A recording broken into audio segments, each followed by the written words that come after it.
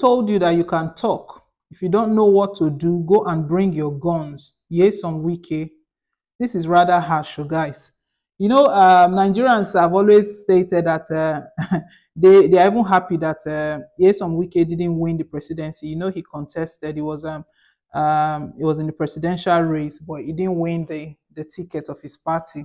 The ticket went to Atiku Abubakar, and uh, this the the way he um, his style of leadership, Nigerians feel that is rather harsh. Being the uh, minister of the Federal Capital Territory, we've seen Ye Nyesom Wike coming out with a, a lot, doing a lot. Recently, we know um, he took over Julius Berger's land, or the land allocated, the development allocated to Julius Berger. And he said they are not doing anything with it. He's just lying down there and um, he wants to decide what to do with it. Right now, he's saying that um, um, he's, he's referring, he's speaking to um, residents in Abuja that they should stop talking. Who told them that they can talk? We're in democracy, yes, sir. We're in democracy and um, there is freedom of speech. People can talk. The same way you have right to speak. You know the way you speak to, to um, these politicians and even your, your colleagues within your party, within the PDP where you are, the crisis that is rocking your party currently. You have freedom to speak, so you can't sh uh, shush people. You can't stop people from speaking. Anyway, guys, this one is very interesting. It's coming from Nyesom Wike. And uh, but what is most worrying here is that uh, if they don't know what to do, that they should go and bring their guns. Hmm. they should bring their guns from where? We'll bring you all of the details, guys. This one is really it's a serious matter. But before we do, guys, please don't forget to give us a thumbs up. Click on the like button. If it's your first time here, you're very welcome. Please click on the subscribe button. God bless you. Now into the details of the report. The Federal Capital Territory FCT Minister Nyesom Wike continues to enforce a strict agenda of urban renewal and law enforcement in Abuja, making headlines once again. On Tuesday, the minister issued a stern warning to roadside beggars, instructing them to desist from the act or face the risk of arrest by enforcement agents. Wike's comment came during the flag off ceremony for a new road construction project in the capital further emphasizing his commitment to transforming the FCT. Begging on the streets of Abuja has become a growing concern affecting the image of the city and impending development efforts. Wike's administration is determined to tackle this issue head on, viewing it as part of his broader vision to clean up the capital.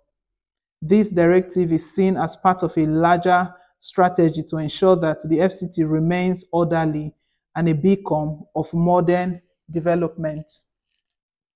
Later in the day, Wike shifted his focus to illegal structures in the Sabon Lugbe South District layout.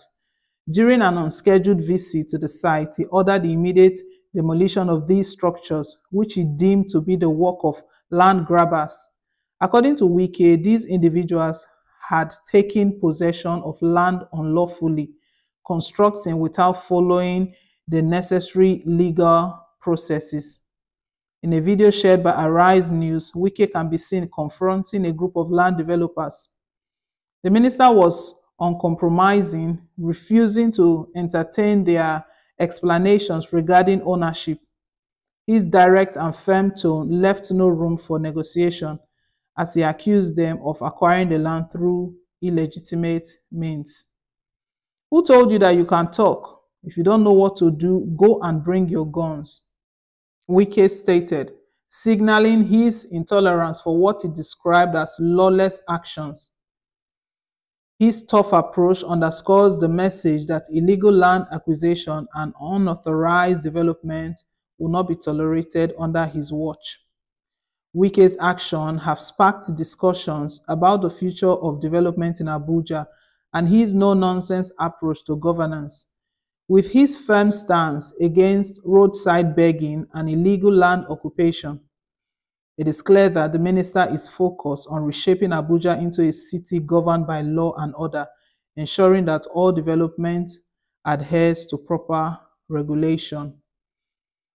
Um, what, is, what he has in mind, what Wike has in mind and what he's trying to achieve no one is against it because I believe everyone will want um, a place where there is orderliness. So the begging he talked about on, on the roadside, um, it's it's something to be looked into. But my concern here is that you are saying these beggars should leave the road, but what provision have you made for them? If you make provision for them to leave the road, if there is some um, some something to cater for them, some sort of welfare because this um, our leader sometimes when they travel abroad they want to copy what is done abroad to them they don't when they go abroad they don't see people begging on the street but they forget that um, um, the, the the leaders in these um, developed countries they have things in place. So if they are saying that you should not stand in the road to to beg they have um, they have welfare. They have things where where they give these people. They have food bank. They have shelter where they keep people who are stranded. They have different ways of supporting people. I don't know what the one that Nigeria has put in place. So before he, you, he goes into he, this is harsh way, I think that's something um, he should look into. He wants to make Abuja um, look very uh, nice, very neat, and all of that. Nigerians are stating that uh, make alternative, make provision for the the alternative where so if they leave the road where they would have their their their daily bread where they will eat from.